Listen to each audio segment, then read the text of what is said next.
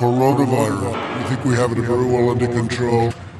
Very little problem in this country at this moment. No, I don't take responsibility at all.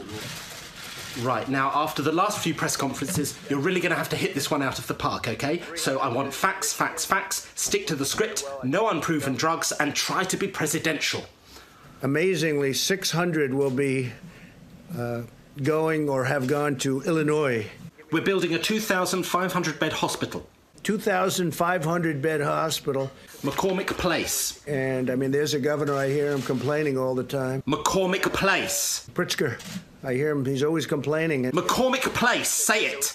In McCormick Place, that's the big convention center. And we're helping to staff that. We're helping to staff it and probably will end up staffing it because. No, don't. He's not able to do what you're supposed to be able to do as a governor. Will you stop it? He has not performed well. What did we say about public sulking during global pandemics? And uh, the hospital levels are starting to. Uh, what? Starting to what? Perhaps decrease. Perhaps decrease? This is supposed to be a briefing, not a fortune cookie. Stick to what I've written. And the other thing that we've bought a tremendous amount of is the. Oh, no, don't say it, no.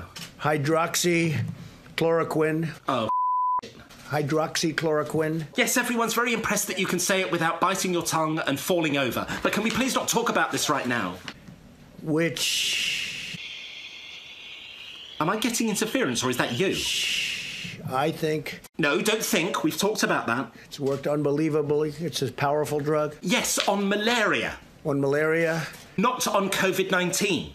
Uh, and there are signs that it works on this? No, there aren't. There's not a single glimmer of a hope of a fart of a sign. Some very strong signs? Nope. And in the meantime, it's been around a long time. That doesn't make any sense, but anyway. It also works very powerfully on lupus. Lupus. Yes, and people suffering from lupus can't get their hydroxychloroquine because you keep telling people with coronavirus to take it, you stupid wet bag of sand. So uh, there are some very strong, powerful signs. Again, there aren't. And if you can, if you have a. Uh, what? What is this you're about to say now? No signs of heart problems. Oh, no, no, no. Don't mention. Azithromycin. Oh, you. Azithromycin. Stop saying the names of drugs twice. Uh, which will kill uh, certain things that you don't want living. This is like listening to a pharmacist who's just bumped his head.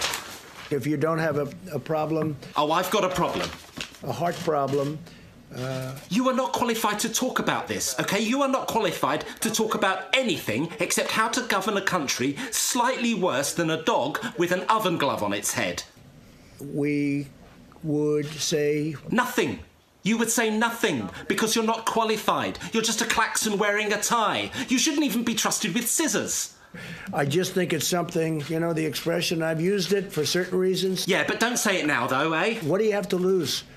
What do you have to lose? Um, your hair, your eyesight, lots and lots of blood. There's three things. Uh, but we have some very good signs. Once more, no signs. That's hydroxychloroquine and. Why are you saying it again? Azithromycin. Do you think no one is recording this or something? I've seen things that I sort of like, so what do I know? I'm not a doctor. Or a politician, or a statesman, or a responsible adult who doesn't abandon a speech that I spent all night writing just so he could promote a bunch of drugs that have as much to do with curing coronavirus as this bowl of candy. And by the way, can you come and get this, please? You left it here two days ago, and I don't want to touch it.